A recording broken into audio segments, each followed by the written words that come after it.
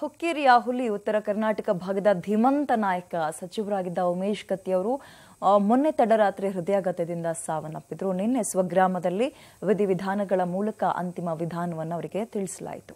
ಮಂಗಳವಾರ ರಾತ್ರಿ ತೀವ್ರ ಹೃದಯಾಘಾತದಿಂದ ಮೃತಪಟ್ಟ ಸಚಿವ ಉಮೇಶ್ ಕತ್ತಿ ಅಂತ್ಯಕ್ರಿಯೆ ನಿನ್ನೆ ಸ್ವಗ್ರಾಮ ಬೆಲ್ಲದ ಬಾಗೇವಾಡಿಯಲ್ಲಿ ನೆರವೇರಿತು. ಸಕಲ ಸರ್ಕಾರಿ ಗೌರವಗಳೊಂದಿಗೆ ಉಮೇಶ್ ಕತ್ತಿಯವರ ಅಂತ್ಯಕ್ರಿಯೆ ನೆರವೇರಿಸಲಾಯಿತು. ಈ ವೇಳೆ ಕುಟುಂಬಸ್ಥರು, ಅಭಿಮಾನಿಗಳ ಆಕ್ರಂದನ ಮುಗಿಲು ಮುಟ್ಟಿತ್ತು. ಸಾಗರೋಪಾದಿಯಲ್ಲಿ ಬಂದಿದ್ದ ಅಭಿಮಾನಿಗಳು ಕಾರ್ಯಕರ್ತರ ಸಮ್ಮುಖದಲ್ಲಿ, ಕತ್ತಿಯವರು ತಮ್ಮ ತೋಟದಲ್ಲಿ, ತಂದೆ ತಾಯಿಯ ಸಮಾಧಿ ಪಕ್ಕದಲ್ಲೇ ಚಿರನಿದ್ರೆಗೆ ಜಾರಿದ್ರು. ಲಿಂಗಾಯತ ಸಂಪ್ರದಾಯದಂತೆ ಅಂತಿಮ ವಿಧಿವಿಧಾನ ನೆರವೇರಿಸಲಾಯಿತು. ಜಿಟಿ ಜಿಟಿ ಮಳೆಯಲ್ಲೂ ಸಂಪ್ರದಾಯಬದ್ಧವಾಗಿ ಉಮೇಶ್ ಕತ್ತಿಯವರಿಗೆ ಅಂತಿಮ ವಿದಾಯ ಹೇಳಲಾಯಿತು. ಒಟ್ನಲ್ಲಿ ಉತ್ತರ ಕರ್ನಾಟಕದ ಧ್ವನಿಯಾಗಿದ್ದ ನೇರ ಮಾತುಗಾರ ಉಮೇಶ್ ಕತ್ತಿ ಇನ್ನೂ ನೆನಪಾಗಿ ಮಾತ್ರ ಉಳಿಯಲಿದ್ದಾರೆ. News desk Public TV.